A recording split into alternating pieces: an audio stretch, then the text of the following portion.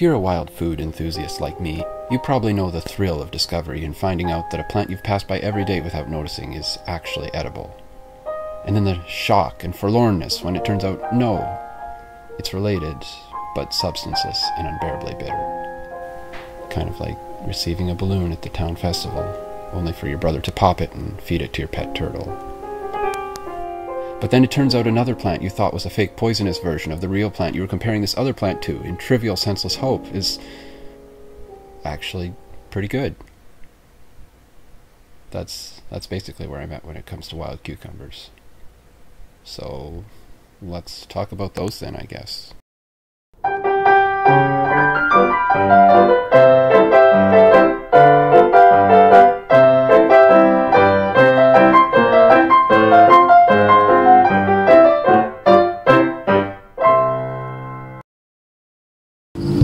So this here is a patch of wild cucumber. And, well, you can imagine my disappointment a few years ago when I realized that, while it's called a cucumber, it's not even in the same genus as the cultivated cu cucumber. And it's not good eating either. Like this, if you feel it, it's got quite a lot of air in it, not much body to it. If you taste it, it's, well, pretty bitter. Not, not good eating. That said, though, it is also a cucurbit, like a cucumber, which the cucurbits, that's a family of, of plants which includes squash, melons, zucchinis, uh, stuff like that. If you're a gardener, you can probably notice some similarities with the plants here. With a few exceptions, plants in this family tend to be vines, and they have thick, hairy stems that tend to die back in the frost, and if you cut those stems, you tend to see a cross-section that's kind of pentagon-shaped. They also notably have separate male and female flowers, and you can see that here. These stalks here are what's known as racemes. They contain the male flowers, which are the ones that produce the pollen. At the bottom here, you can see the individual female flowers, which is where the seeds develop when the pollen is received, and thus also where the fruit will develop. You can actually see the just a little spiky start of a cucumber there. The males they'll just fall off and die once they're finished giving their pollen. The fruit is also distinctive here though. Uh, biologically it's categorized as a type of berry called a pepo, which is distinguished from other berries by its hard outer skin here, and seeds which don't have dividing walls between them. While it wasn't used for food, it apparently did have quite a number of uses by the First Nations for medicine from, I believe, analgesics, kidney treatments, and even sometimes love potions. Unfortunately, I wasn't able to find any recent clinical trials on this, but if you're into that sort of research, maybe well worth trying out. One word of caution though too, I don't advise self-medicating with plants, especially so if you're not certain of the plant's identity. And well, I couldn't find any information specific to the dangers of these wild cucumbers, there are a number of other cucurbits around which are definitely not friendly towards the insides and can look pretty similar to wild cucumbers. Case in point, that plant over there. A lot of people around here assume this is some sort of wild cucumber and it grows all over a lot of the shelter belts here. It is also a cucurbit, but very much not a cucumber.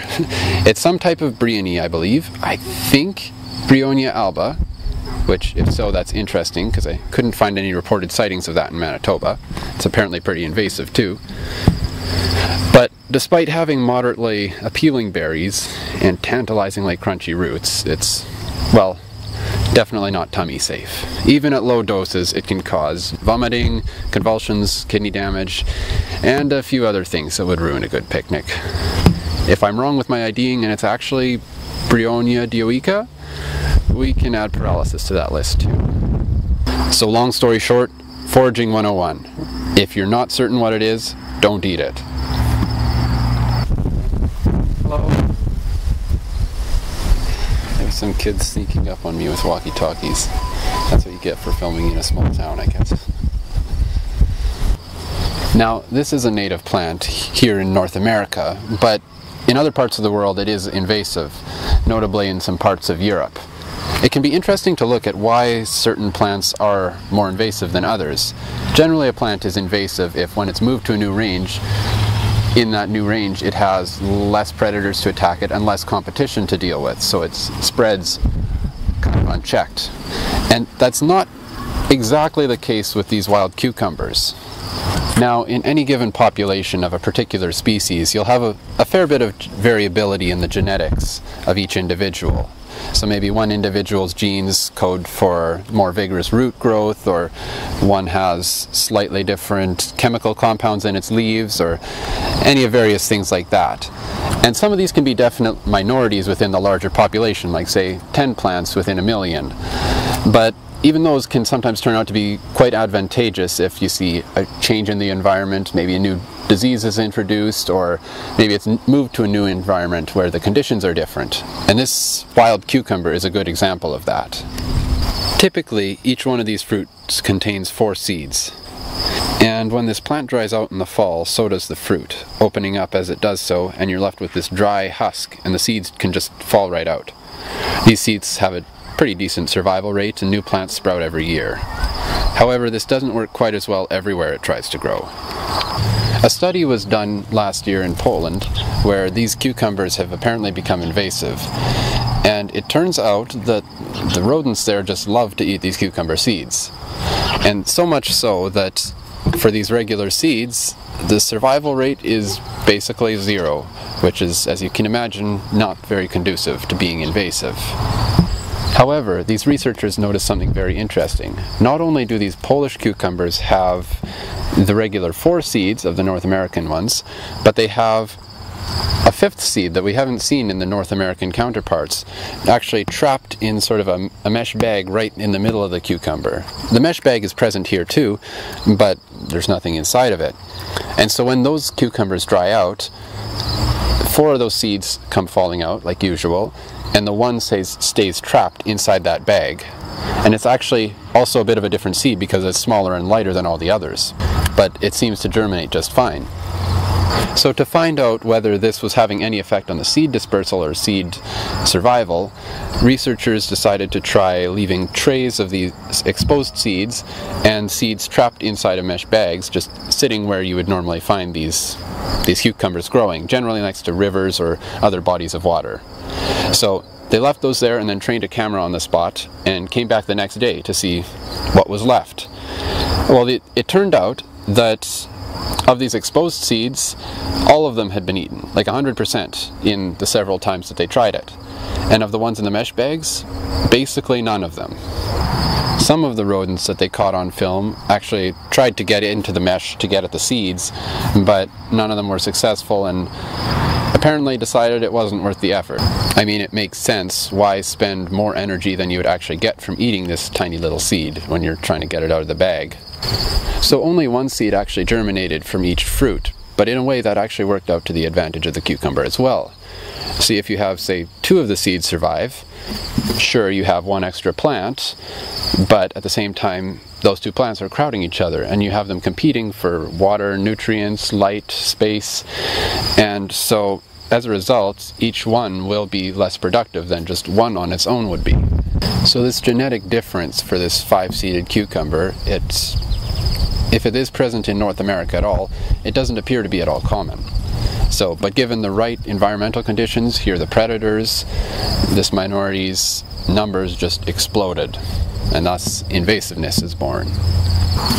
So on that note, while it may not be edible and it won't make a good trail snack, there is one more fun thing you can do with it.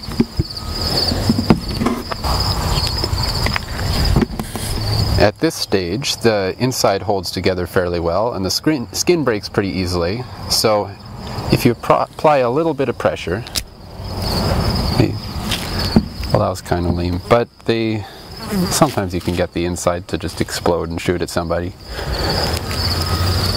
They're also good for throwing at people. Spiky, but not enough to hurt. So that's all I have for wild cucumbers, or at least this type. So if you have any corrections, suggestions, or disparaging remarks, feel free to comment down below. And for another less convincing but ultimately more delicious cucumber imposter, join me next week, or whatever time period I upload these in. Join me next time on Ambling with Sam. So I made a little discovery while making this video. The study on the plant's invasiveness said that while it was assumed that it would be found there, the five-seeded cucumber hadn't actually been confirmed in North America. Well, while I was videoing myself taking the seeds out of a mature specimen, lo and behold, it turned out I was holding a five-seeded cucumber. Unfortunately, on trying to remove the fifth seed, it immediately shot out and disappeared, and within minutes my camera died and I had to leave for university, so I didn't have time to check other cucumbers in the patch. Bummer. But at least I can confirm that the five-seeded variety is indeed found in North America. Signing off for real this time.